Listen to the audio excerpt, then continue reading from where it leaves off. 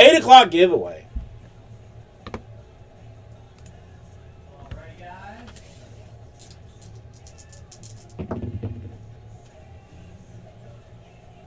Six is the numbers.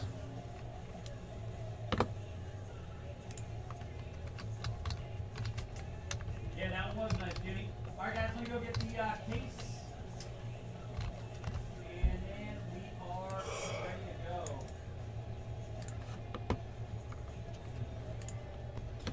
Top three are walking with boxes that I will more than likely just uh, mail to you. Unless things go uh, desperately slow, so that I may, uh, so that we may break more things. Since we've had a pretty solid look at uh, that stuff.